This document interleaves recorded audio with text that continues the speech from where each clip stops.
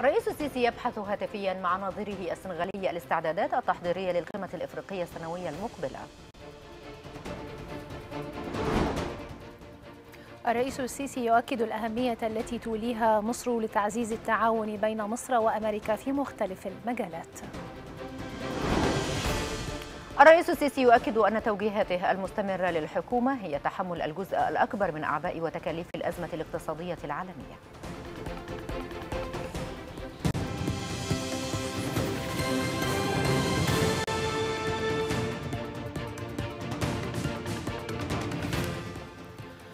منتصف ليل القاهرة العاشرة بتوقيت جرينتش ونشرة إخبارية تأتيكم من القاهرة. مشاهدينا تحية طيبة والبداية مع الزميلة سمر الزهيري. سمر إليك. شكرا لك يا هاجر. أهلا بحضراتكم مشاهدينا الكرام. تلقى الرئيس عبد الفتاح السيسي اتصالا هاتفيا من الرئيس السنغالي حيث تناول الاتصال استعراض الاستعدادات التحضيرية للقمة الإفريقية السنوية المقبلة والتي من المقرر لها أن تنعقد خلال شهر فبراير القادم. هذا وتقدم الرئيس السيسي بالتهنئة إلى الرئيس السنغالي على الرئاسة الناجحة للاتحاد الإفريقي خلال عام 2022 من جانبه أعرب الرئيس ماكي سال عن خالص التقدير والعرفان للدعم المصري لبلاده في مختلف جوانب العمل القاري خلال فترة رئاستها للاتحاد الإفريقي. وهو ما عكس حرص مصر بقيادة الرئيس السيسي على إعلاء المصالح المشتركة للدول الإفريقية والبحث عن حلول للقضايا والأزمات التي تواجه القارة. كما أشار المتحدث باسم رئاسة الجمهورية إلى أن الاتصال تناول أيضا التباحث بشأن تطورات أبرز الملفات والقضايا ذات الاهتمام المشترك على المستويين الإقليمي والدولي. أكد الرئيس عبد الفتاح السيسي على متانة العلاقات المصرية الأمريكية والأهمية التي توليها مصر لتدعيم وتعزيز التعاون الراسخ بين البلدين في مختلف المجالات خاصة على الصعيد الأمني والاستخباراتي ولدعم جهود استعادة الاستقرار بالشرق الأوسط في ضوء ما يشهده من تحديات. جاء ذلك خلال استقبال الرئيس السيسي لمدير وكالة الاستخبارات المركزية الأمريكية بحضور اللواء عباس كامل رئيس المخابرات العامة. استقبل السيد الرئيس عبد الفتاح السيسي السيد ويليام بيرنز مدير وكالة الاستخبارات المركزية الأمريكية وذلك بحضور اللواء عباس كامل رئيس المخابرات العامة. وصرح المتحدث الرسمي باسم رئاسة الجمهورية بأن السيد الرئيس رحب بالمسؤول الأمريكي وطلب نقل تحياته إلى الرئيس الأمريكي جو بايدن مؤكدا متانة العلاقات المصرية الأمريكية والأهمية التي توليها مصر لتدعيم وتعزيز التعاون الراسخ بين البلدين في مختلف المجالات خاصة على الصعيد الأمني والاستخباراتي ولدعم جهود استعادة الاستقرار بالشرق الأوسط في ضوء ما يشهده من تحديات.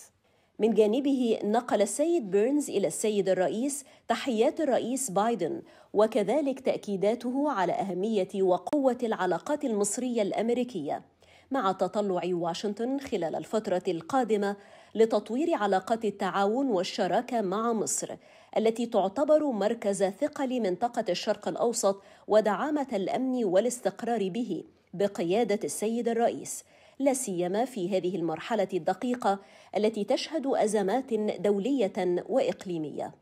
وأوضح المتحدث الرسمي أن اللقاء شهد التباحث حول سبل تعزيز التعاون الأمني والاستخباراتي بين البلدين فضلا عن تبادل وجهات النظر بشأن المستجدات المتعلقة بعدد من القضايا الدولية والإقليمية ذات الاهتمام المشترك.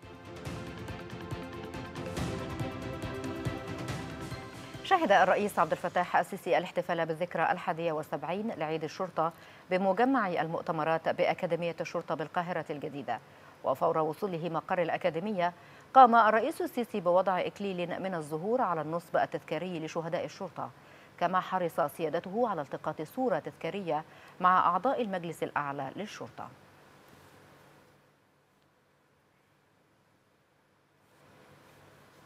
تقدم الرئيس السيسي بتحية اعتزاز واحترام لأسر شهداء الشرطة مؤكدا خلال كلمته في الاحتفال بالذكرى الواحدة والسبعين لعيد الشرطة أنه لا يوجد ما هو أغلى من تقديم أرواح الأبناء فداء للوطن وهو ما فعلته أسر الشهداء عن طيب خاطر. اسمحوا لي في البداية أن أتوجه لكم بأسمى عبارات التحية والتقدير. كل عام وأنتم بخير. واسمحوا لي كذلك أن أتقدم بتحية اعتزاز واحترام خاصة لأسر شهداء الشرطة فلا يوجد ما هو أغلى من تقديم أرواح الأبناء فداء للوطن وهو ما فعلته هذه الأسر عن طيب خاطر لا يبغون جزاء ولا شكورا إلا أن يكون وطنهم مرفوع الرأس شامخ القامة لا يخضع لمحتل ولا يقر أمام تحد مهما بلغت صعوبته. هذا وأوضح الرئيس السيسي أن يوم الخامس والعشرين من يناير لم يكن رمزا فقط لعيد الشرطة وتكريما لبطولات رجالها وتضحياتهم وإنما عنوان لروح التحدي لدى الشعب المصري الذي خرج منه أبطال الشرطة ليقفوا في وجه المحتل الغاصب.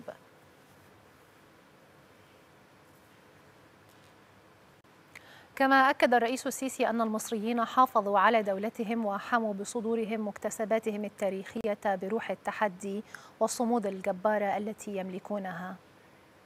فخلال السنوات الأخيرة كان روح التحدي تلك حضور لافت في الأحداث غير المسبوقة التي شهدتها مصر. وإذا نظرنا بموضوعية وإنصاف إلى هذه السنوات لوجدنا أن قليلا من التقديرات ذهبت إلى أن مصر ستعبر هذه المرحلة. ستعبر هذه المرحلة الصعبة من التقلبات السياسية والأمنية والاقتصادية والاجتماعية بسلام.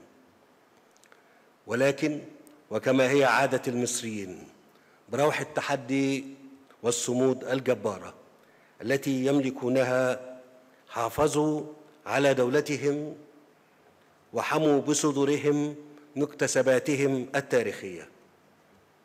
ورفضوا دعاوى الهدم والتدمير والفوضى ودعموا مؤسساتهم الوطنية وتحملوا بصبر وشموخ طريق الإصلاح والتطوير من أجل أن تعبر مصر مرحلة الخطر وتثبيت أركان الدولة إلى مرحلة البناء وتأسيس الجمهورية الجديدة التي نعمل لتكون تجسيدا لأحلام المصريين وامالهم كما شدد الرئيس السيسي على أن بناء الدول لا سبيل له من دون الحفاظ على الأمن القومي بجميع عناصره ومكوناته.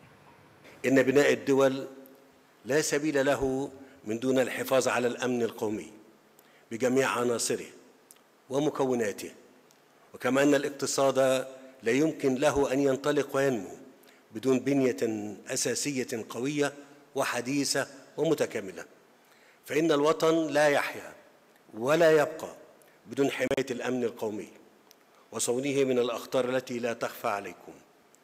وأنتم الشعب المصري العظيم الواعي المدرك لتعقيدات المنطقة التي نعيش فيها وانعكاسات ذلك على الداخل. وفي هذا الإطار تقوم هيئة الشرطة المدنية بجهود يعجز البيان عن حصرها وإيفائها حقها ويقدم أبناؤها تضحيات يقف أمامها وطننا يقف أمامها وطننا ممتنا ومقدرا وشاكرا. إن هذه الجهود والتضحيات التي تقدمها الشرطة تسهم بأشد ما يكون الإسهام في بناء وطننا. وحماية أمن كل مواطن مصري يحيا على هذه الأرض الطاهرة.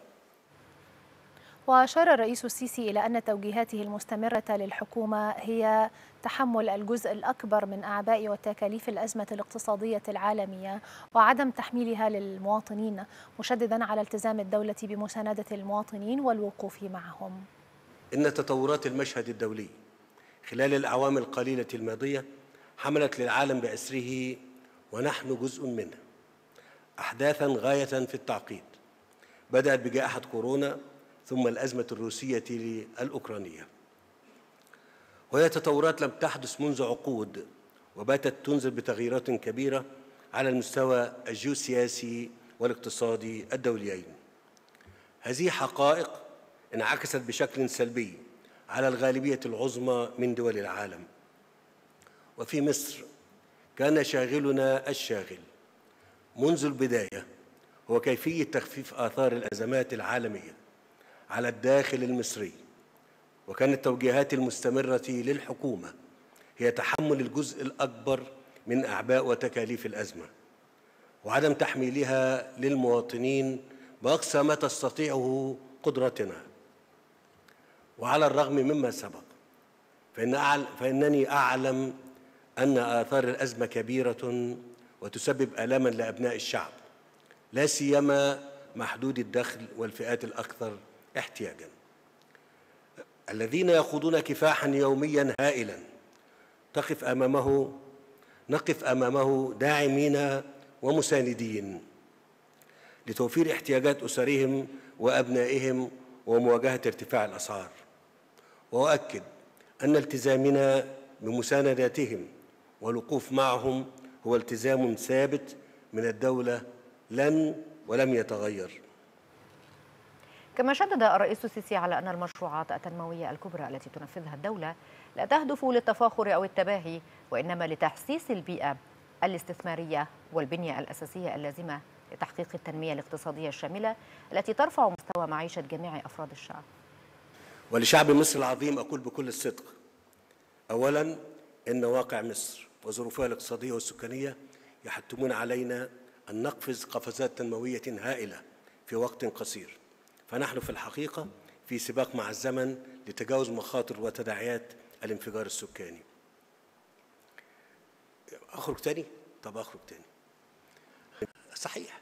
يعني بتلوموني وبتلوموا الحكومة.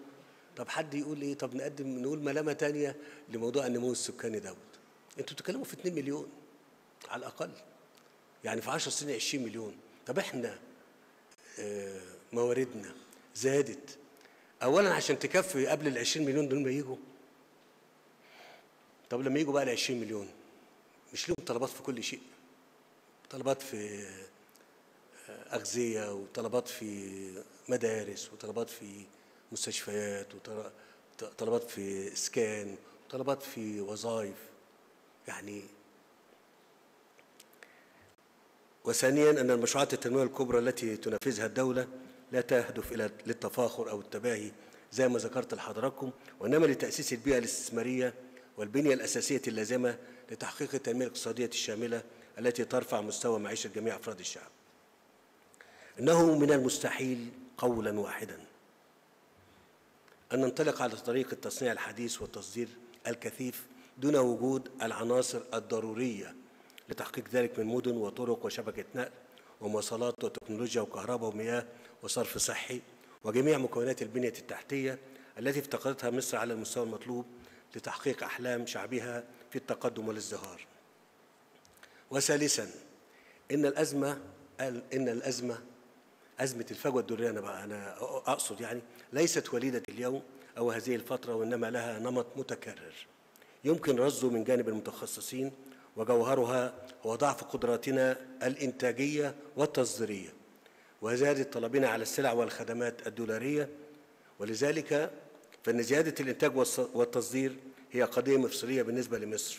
ونحن نعلم ذلك ونعمل على تحقيقه بأقصى جهد وطاقة. أكد الرئيس السيسي أن تحقيق الآمال يتطلب جهدا وصبرا وقوة تحمل معربا عن ثقته في تجاوز مصر الأزمة الاقتصادية العالمية. شعب مصر العظيم إن تحقيق الآمال يتطلب جهدا وصبرا وقوة وقوة تحمل. أو بكلمات أخرى يتطلب روح التحدي المصرية الخالدة التي عبرت عنها عبرت عنها أحداث الخامس والعشرين من يناير عام 52 وتجلت مرات عديدة في أحداث تاريخية أخرى في الماضي البعيد والقريب. كان المصريون فيها دائما على مستوى التحدي وقادرين على هزيمته بل وقهره. وثقتي في الله وفي الشعب شعب مصر مطلقة بأننا سنعبر ونتجاوز الأزمة الاقتصادية العالمية وآثارها علينا بالعمل المخلص والجهد الذي لا ينقطع والإيمان بأن بأن الله لا يضيع أجر من أحسن عملا وأننا قادرون على بناء وطن يحقق آمالنا في الحياة الكريمة والتقدم والازدهار. أشكركم وكل عام وأنتم بخير وصحة وسلام. وهيئة الشرطة في تقدم ونجاح في خدمة الشعب والوطن. كما أوضح الرئيس السيسي أن هناك دائما محاولات لتضليل المواطنين معبرا عن ثقته في وعي الشعب المصري.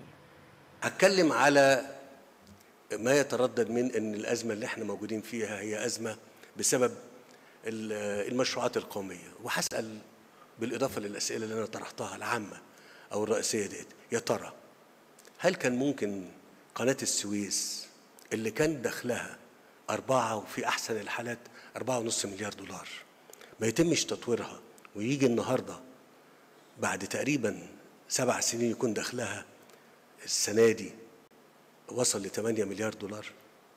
هل كان ممكن إن إحنا نتجاوز وما نطورش القناة ديت عشان تجابه التطورات في التجارة الدولية ونسيبها زي ما هي كده؟ وما نستفدش بالرقم اللي أنا بقول عليه دلوقتي. اللي إحنا متصورين عندما عملت الدراسات لموضوع قناة السويس إنها تستهدف الوصول إلى 10 و12 مليار دولار سنويا. هل الرقم ده جنب الرقم اللي تم تطوير القناة فيه ساعتها يعتبر رقم كبير. طيب كمان نقطة أخرى في المشاريع القومية. هل كان يمكن الأزمة أو أزمة الكهرباء والطاقة اللي كانت موجودة وكلنا كنا شايفينها بس مش عايزين ننساها؟ عايز أقول لكم النهاردة إذا كنا بنتكلم على على الأقل واحد ونص تريليون جنيه لموضوع الطاقة اللي هو موضوع الكهرباء يمكن والغاز. هل كان ممكن النهاردة الدولة المصرية تستمر؟ وعايز أقول إن في خلال السبع سنين اللي فاتوا دول يعني إحنا زدنا 14 مليون وفي العشر سنين من 2011 للنهاردة زدنا يجي 10 يجي 20 مليون.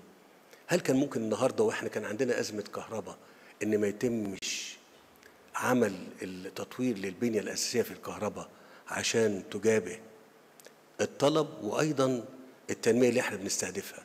كان ممكن يحصل ده. أنا بتكلم في أسئلة واضحة جدا لينا كلنا.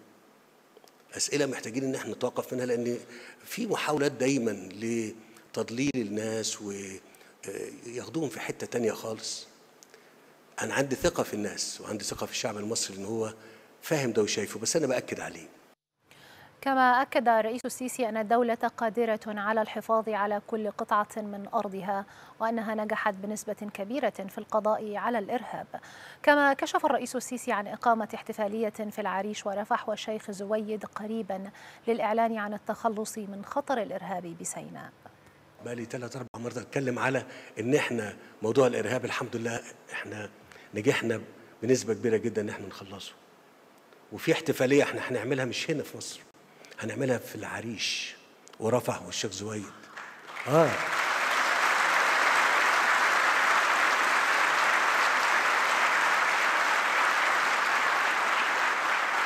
فدولة الرئيس لما راح هناك كان أول مرة الطيارة تنزل من سبع سنين ولا ثمان سنين آه طيارة بالوزراء وبدولة الرئيس مش كده؟ أول مرة ننزل طيارة في العريش في مطار العريش. بعد ثمان سنين مش قادرين نعمل ده. طب أنا هروح نعمل الاحتفالية ديت والعريش زي ما هي ورفح زي ما هي؟ لا. لازم نأكد قدرة الدولة المصرية على إن هي ما فيش أرض فيك يا مصر حد يقدر ابدا بفضل الله سبحانه وتعالى ياخدها مننا أو يسيطر عليها. ما حدش يقدر. ما حدش يقدر.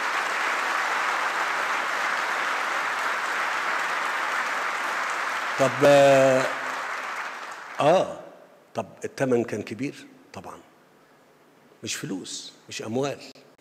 لا ده دم ومصابين وشهداء راحوا عند ربنا سبحانه وتعالى ونتمنى لهم إن هم إن إحنا يعني ربنا يجمعنا بيهم بسلام وأمان في يوم عظيم في يوم القيامة. بقول ده اتدفع ثمن من شعب مصر كله. وبالمناسبة دول أبناء كل اللي موجودين قدامي واللي موجودين كمان في بيوتهم مش شايفينهم دلوقتي. وعشان كده دايما بأكد ولما أتكلم على الشهداء والمصابين في في مناسبات يقول لك هو ده يعني ده مناسب مناسب في كل وقت. ولا يمكن إن إحنا ننساهم ومش وعيب علينا جدا إن إحنا ننساهم. كما أكد الرئيس السيسي أنه لا أحد يستطيع القضاء على الدولة وشعبها. مشيرا إلى أنه خلال الفترة في 2012 و2013 كان حريصا على عدم الدخول في صراع مع أي طرف وتجنب المواجهة. استكمالا للنقطة ديت هل بقى بعد وإحنا بنقابل شوية تحديات زي اللي إحنا بنشوفها دلوقتي. كلنا نبقى خايفين ولا واثقين في الله أولا ثم في أنفسنا. الثقة في مين؟ في الله أولا ثم في أنفسنا. هل إحنا عملنا حاجة كشعب أذينا أو اعتدينا أو آه، يعني إحنا صبرنا صبر كبير جدا جدا عشان ما نخشش في صراع مع حد؟ وربنا اللي يعلم. وحاولنا بقدر الإمكان خلال فترة 2012 و13 إن إحنا ما نصلش ابدا لمواجهة بس ما نجحناش. مش أنا اللي ما نجحتش هم اللي ما نجحوش. هم اللي ما نجحوش. وتصوروا إن هم ممكن قوي باللي بيعملوه يهدوا مصر. وكنت دايما أقول مفيش مفيش حد يغلب دولة. مفيش حد يقدر يضيع شعب. مفيش حد يقدر. مفيش حد يقدر.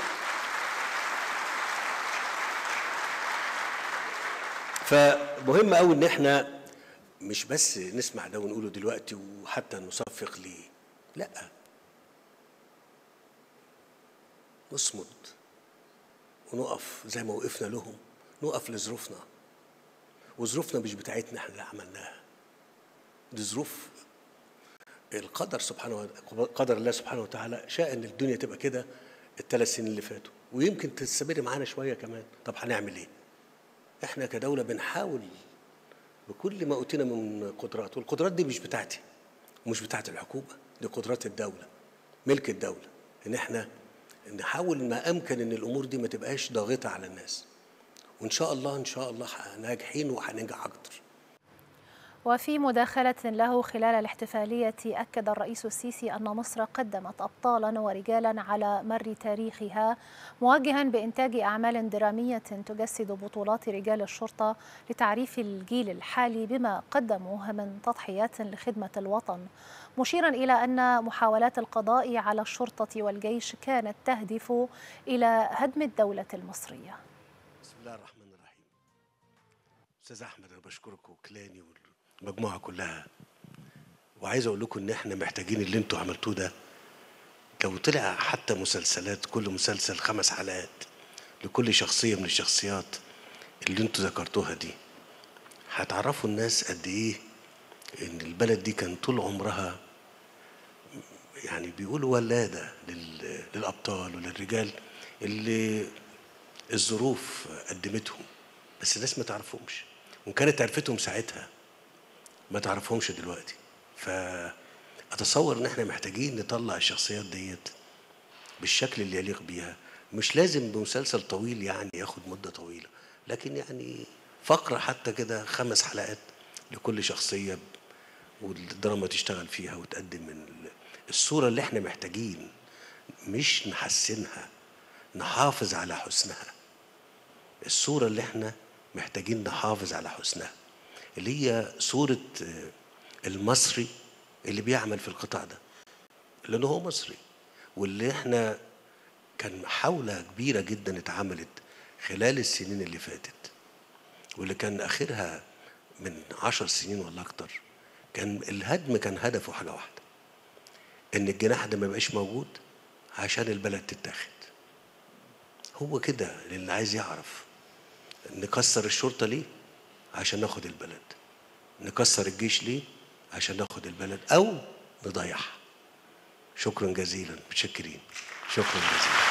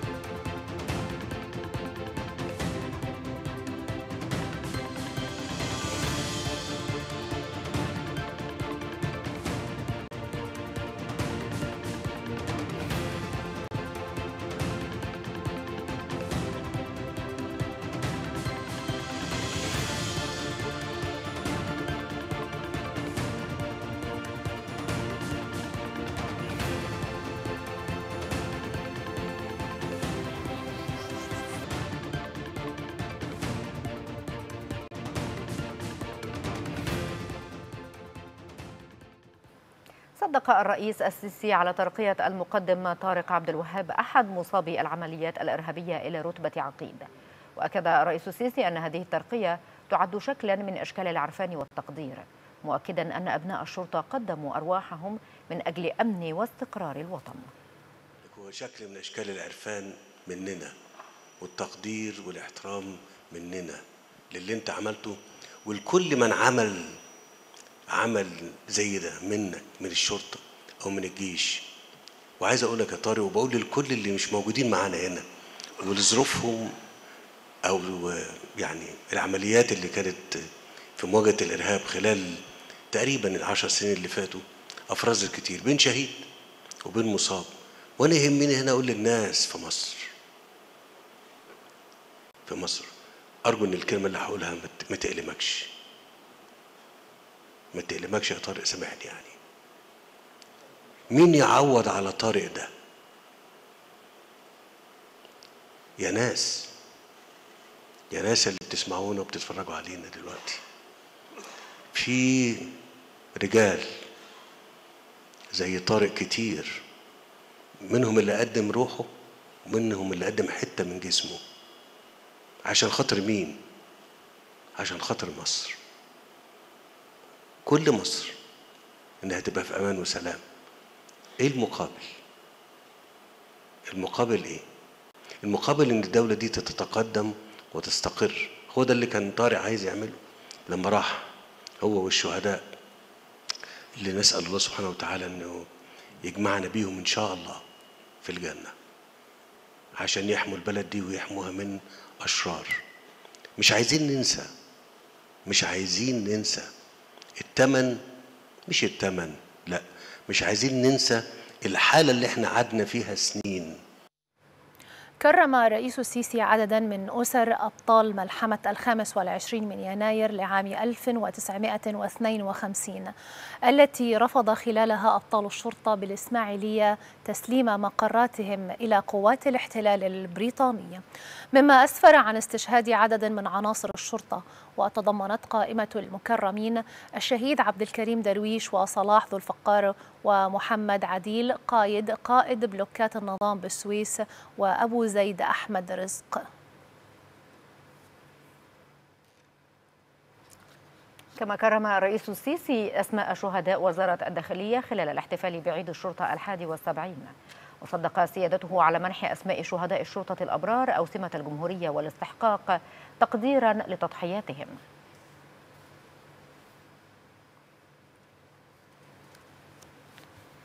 أكد وزير الداخلية اللواء محمود توفيق أن الشرطة المصرية سطرت دورها الفعال على مر العصور في كل معارك التحرير والنضال مشيرا إلى أن رجال الشرطة ضربوا أروع أمثلة الشجاعة والتضحية ويواصلون حماية أمن الوطن عبر العصور. كما أوضح وزير الداخلية أن الشرطة قامت بالتنسيق بشكل دائم مع القوات المسلحة من أجل مواجهة التنظيمات الإرهابية ومن يروج لها. يتخذ رجال الشرطة إلى جانب رفقائهم بالقوات المسلحة مواقعهم لإجهاض مساعي التنظيمات الإرهابية ومن يروج لها ويدور في فلكها لاستعادة تماسكها وتوازنها الذي التي فقدته عبر الضربات الأمنية الحاسمة وتكثيف منابع تمويلها. وتعي أجهزة الوزارة ضرورة استمرار اليقظة الأمنية والقراءة الدقيقة لحركة أنماط الأنشطة الإرهابية والإثارية إقليميا ودوليا واتخاذ الإجراءات الوقائية لمنع امتدادها إلى داخل البلاد.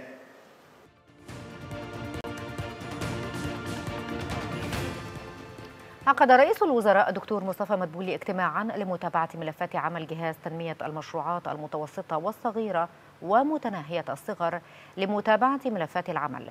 وأكد مدبولي أهمية التنسيق مع المسوقين العالميين عبر الإنترنت بهدف تسويق منتجات العارضين في معرض تراثنا. ويشارك جهاز تنمية المشروعات في إتاحة تمويل لمشروعات في المبادرة الرئاسية حياة كريمة بقيمة ملياري ومئة مليون جنيه كما وفر 400 مليون جنيه تمويلا لتحويل أكثر من 51 ألف سيارة للعمل بالغاز الطبيعي.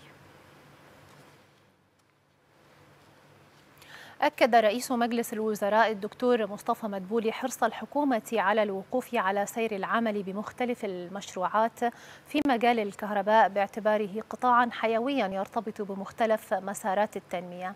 جاء ذلك خلال اجتماع عقده لاستعراض عدد من ملفات عمل وزارة الكهرباء والطاقة في الفترة الراهنة حيث شهد الاجتماع استعراض الدعم المطلوب لهذا القطاع الحيوي في ظل ارتفاع أسعار الطاقة العالمية وكذا تغير سعر الصرف كما استعرض الاجتماع التطورات في مشروعات إنتاج الهيدروجين الأخضر فضلا عن سير العمل بالمشروعات التي يتم تنفيذها ضمن مبادرة حياة كريمة لتطوير ورفع كفاءة شبكات توزيع ونقل الكهرباء. شهد الدكتور مصطفى مدبولي رئيس مجلس الوزراء مراسم توقيع مذكرة تفاهم بين مصر وفلسطين. بشأن التعاون في مجال تكنولوجيا المعلومات والاتصالات والبريد. وعقب التوقيع أشار مدبولي إلى أن مذكرة التفاهم تأتي انطلاقا من العلاقات المتميزة بين البلدين ورغبة البلدين في تطوير تلك العلاقات وإيمانا بأهمية دور تكنولوجيا الاتصالات والمعلومات في تحقيق التنمية الشاملة المستدامة لكلا البلدين. وكذلك مواكبة التطورات المتسارعة على الساحة الدولية والإقليمية في قطاعات البريد وتكنولوجيا المعلومات والاتصالات. وتشمل مذكرة التفاهم التعاون وتبادل الخبرات والمعارف بين الطرفين في مجالات البريد وتكنولوجيا المعلومات وتنظيم قطاع الاتصالات والابتكار وريادة الأعمال والتدريب والبحوث والدراسات بالإضافة إلى شكاوي المواطنين ومتلقي الخدمة. شهد رئيس الوزراء مصطفى مدبولي مراسم توقيع مذكرة تفاهم بين وزارة الاتصالات المصرية ونظيرتها الصومالية بشأن التعاون في مجال تكنولوجيا المعلومات والاتصالات والبريد. وثمن رئيس الوزراء هذا التعاون مؤكدا أنه يعزز أهمية دور الاتصالات وتكنولوجيا المعلومات في تحقيق التنمية الشاملة في البلدين. ويسهم في دفع نمو الاستثمارات وتسهيل إحداث شراكات وتحفيز المبادرات المشتركة. كما يدعم العلاقات والروابط الثنائية التي تجمع بين مصر والصومال والتي لا ترتبط بالبعد العربي فحسب وإنما بالعمق الإفريقي أيضاً. أعرب ضياء رشوان المنسق العام للحوار الوطني عن ترحيب مجلس أمناء الحوار بدعوة وزير المالية الدكتور محمد معيط لإجراء حوار مجتمعي حول موازنة الدولة الجديدة للعام المالي 2023-2024 وما يرتبط بها من قضايا مالية واقتصادية. وأوضح المنسق العام للحوار الوطني أن جدول أعمال الحوار يتضمن محورا اقتصاديا يشمل ثماني لجان فرعية منها واحدة مخصصة للموازنة العامة للدولة بكل تفاصيلها. وتتوزع القضايا الأخرى التي شملتها دعوة وزير المالية على اللجان الأخرى بالمحور الاقتصادي. هذا ورحب ضياء رشوان بشمول الحوار المجتمعي الذي دعا إليه وزير المالية ضمن فعاليات الحوار الوطني. داعيا وزير المالية وقيادات الوزارة لإدارة النقاش المدعو إليه ضمن فعاليات الحوار الوطني بكل ما سيؤدي إليه هذا من إثراء الحوار حول موضوع الموازنة العامة والقضايا الأخرى المرتبطة بها وتعبيره عن كل الرؤى والخبرات المتنوعة التي تمثلها أطراف الحوار الوطني.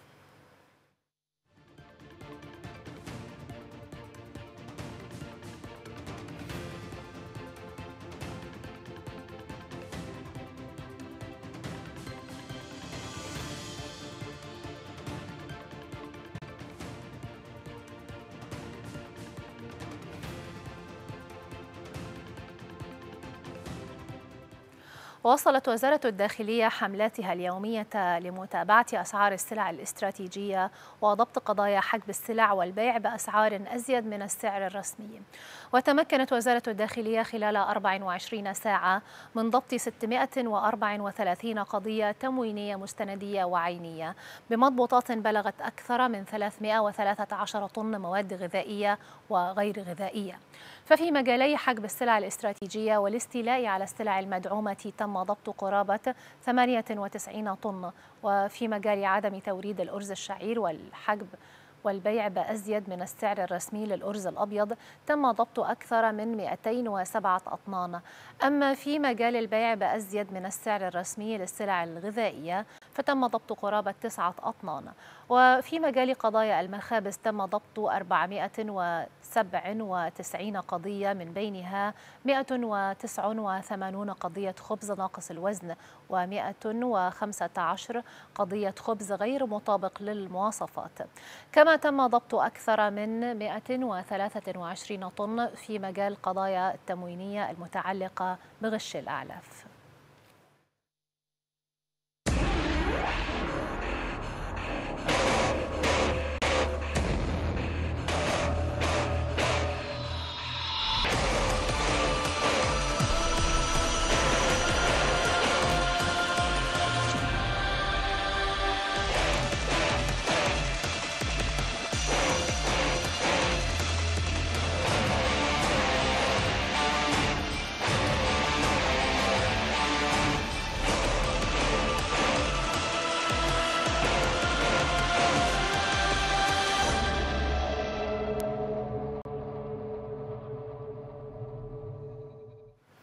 وبالانتقال إلى أبرز تطورات الأزمة الروسية الأوكرانية حذر نائب رئيس مجلس الأمن الروسي ديمتري ميدفيديف من أن العالم أصبح يقترب من تهديد اندلاع حرب عالمية ثالثة.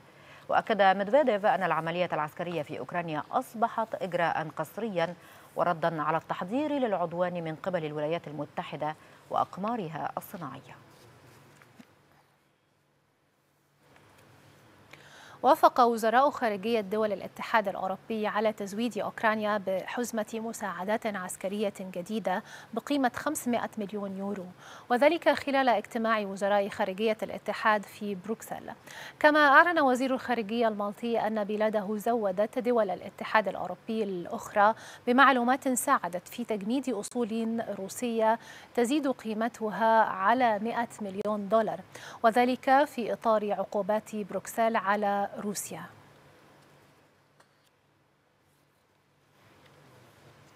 أعلن وزير الدفاع الألماني بوريس بيستوريوس عن حزمة مساعدات عسكرية ستمنحها بلاده إلى أوكرانيا بقيمة مليار يورو بحلول الربيع المقبل. وخلال قمة رامشتاين لوزراء دفاع خمسين دولة أشار وزير الدفاع الألماني إلى أن برلين لم تتخذ حتى الآن قرارا بشأن منح كييف دبابات ليوبارد التي سبق وأن طلبتها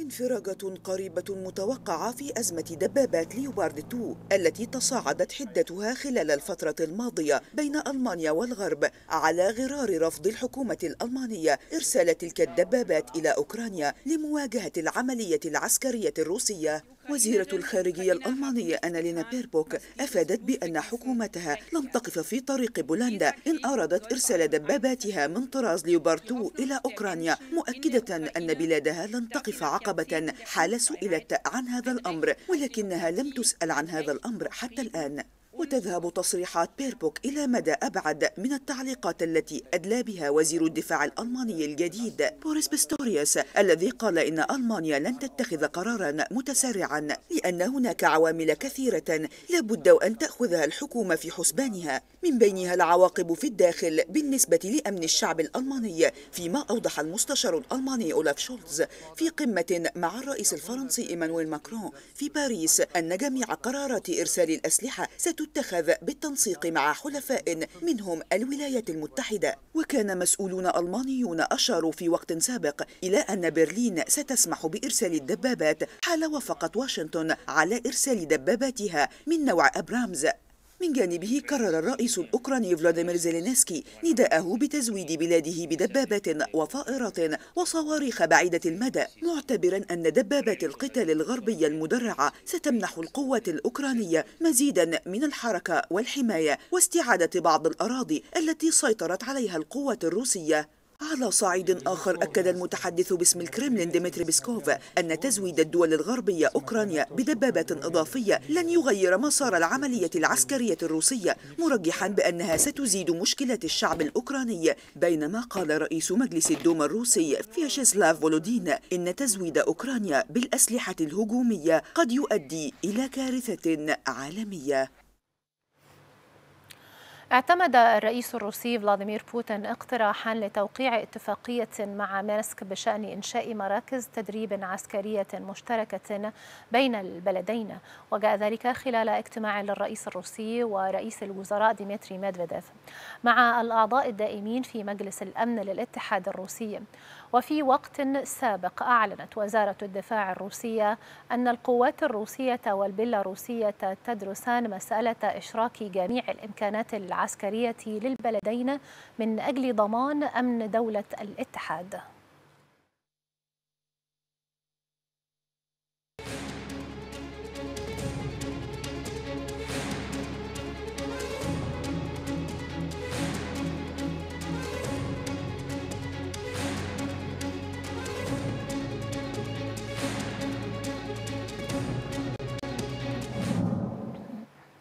وجه رئيس الوزراء البريطاني ريشي سوناك بالتحقيق في المعاملات الضريبية الغامضة لزعيم حزب المحافظين ناظم الزهاوي في الوقت الذي تعهد فيه باعتماد النزاهة في حكومته. وكلف سوناك مستشاره للأخلاقيات الحكومية بالتحقيق فيما إذا كان الزهاوي الذي يشغل مقعدا في الحكومة البريطانية قد انتهك القانون المتعلق بعمل الوزراء عبر دفعه غرامة لسلطات الضرائب في المملكة المتحدة بهدف تسوية نزاع بملايين الجنيهات الاسترلينية. وقال سوناك إن هذه المسألة تواجهها أسئلة تستحق إجابات. رافضا في الوقت الحالي إقالة الزهاوي. حذر خبراء اقتصاديون من أن الركود المتوقع أن يضرب المملكة المتحدة قد يكون ضعف ما كان يعتقد به سابقا. وتوقع الخبراء انخفاضا بنسبة 7 من عشرة في المئة هذا العام يليه نمو بنسبة 1.9 في المئة و2.2 في المئة في العامين المقبلين. كما توقع الاقتصاديون أن يصل التضخم إلى 7.2 في المئة هذا العام. أعلن الرئيس الأمريكي جو بايدن أنه سيجتمع مع رئيس مجلس النواب الجمهوري كيفن كارثي لمناقشة أزمة سقف الدين الأمريكي. وكان مشرع أمريكي قد أعلن أن مجموعة من الحزبين الجمهوري والديمقراطي تعد خطة حول ملف سقف ديون الولايات المتحدة عبر إجراء تعديل السقف من مبلغ ثابت إلى نسبة مئوية من الناتج المحلي الإجمالي.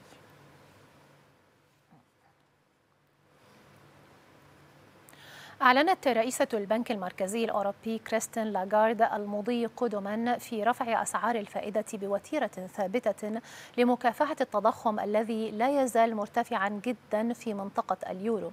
واعتبرت لاغارد الانفصال عن روسيا العام الماضي منذ بدء العملية العسكرية على أوكرانيا دفع بالتضخم في مجال الطاقة في منطقة اليورو إلى مستويات غير عادية مما تسبب بارتفاع معمم الأسعار بأكثر من 10 في المئة في أكتوبر. وقالت لاغارد إن البنك سيستمر في نهجه لضمان العودة السريعة إلى هدفه البالغ 2 في المئة في حين أن تراجع القدرة الشرائية الناجمة عن ارتفاع الأسعار بات مصدر قلق رئيسي للأوروبيين. أعلن المكتب الإحصائي الأوروبي يوروستات زيادة عجز ميزانيات الاتحاد الأوروبي بشكل كبير. وأكد المكتب أن العجز العام في ميزانيات دول الاتحاد الأوروبي نما بشكل كبير في الثلث الأخير من العام الماضي على خلفية إجراءات خفض أسعار الطاقة. وبحسب يوروستات فإن الزيادة في العجز ترجع أساسا إلى الزيادة الكبيرة في الإنفاق العام.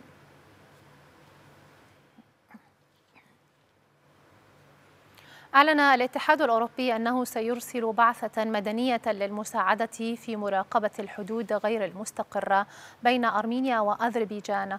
وخلال اجتماع لوزراء خارجية الاتحاد الأوروبي في بروكسل قال مسؤول السياسة الخارجية في الاتحاد الأوروبي جوزيف بوريل إن الاتحاد سيؤسس مهمة مدنية في أرمينيا للمساهمة في الاستقرار وبناء الثقة وضمان بيئة مواتية لجهود التطبيع بين البلدين.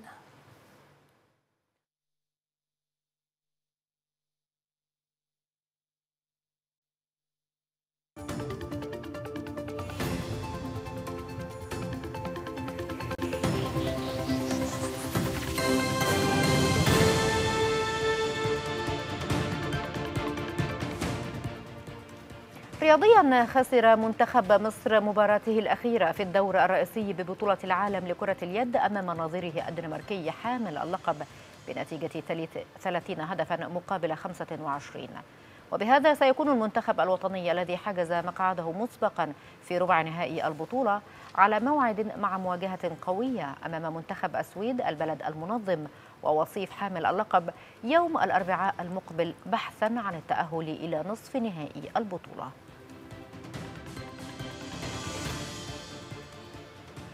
يواجه فريق الأهلي نظيره البنك الأهلي في السابعة مساء اليوم الثلاثاء ضمن منافسات الأسبوع الخامس عشر لبطولة الدوري الممتاز. واختتم الفريق تدريباته بقيادة السويسري مارسيل كولر المدير الفني للأهلي حيث أدى اللاعبون تدريبات بدنية قوية. ويتصدر الأهلي ترتيب البطولة برصيد 34 نقطة بينما يمتلك البنك الأهلي 12 نقطة. يواجه فريق الزمالك مضيفه غزل المحلة في الخامسة مساء اليوم ضمن لقاءات الأسبوع الخامس عشر في بطولة الدوري الممتاز. وأعلن الجهاز الفني للفريق بقيادة البرتغالي فيريرا قائمة الفريق التي شهدت غياب التونسي حمزة المثلوثي ومحمود عبد الرازق شيكابالا. كما يستمر غياب أحمد فتوح وعبد الله جمعة والسنغالي إبراهيم نداي. هذا ويمتلك الزمالك 26 نقطة بينما يمتلك المحلة 22 نقطة.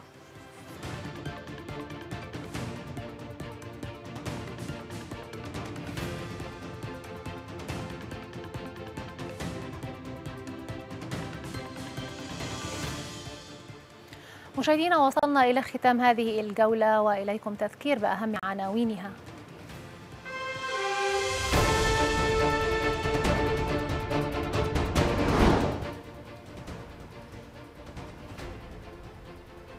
الرئيس السيسي يبحث هاتفيا مع نظيره السنغالي الاستعدادات التحضيرية للقمة الإفريقية السنوية المقبلة. الرئيس السيسي يؤكد الأهمية التي توليها مصر لتعزيز التعاون بين مصر وأمريكا في مختلف المجالات. والرئيس السيسي يؤكد أن توجيهاته المستمرة للحكومة هي تحمل الجزء الأكبر من أعباء وتكاليف الأزمة الاقتصادية العالمية. وختاما مشاهدينا الكرام لمزيد من الأخبار يمكنكم دوما تحميل تطبيق Extra News من خلال Apple Store أو Google Play أو من خلال ال QR code الظاهر أمام حضراتكم على الشاشة. شكرا على طيب المتابعة والشكر موصول لزميلتي هاجر سليمان. وهذه تحياتي لحضراتكم أنا سمر الزهيري إلى اللقاء.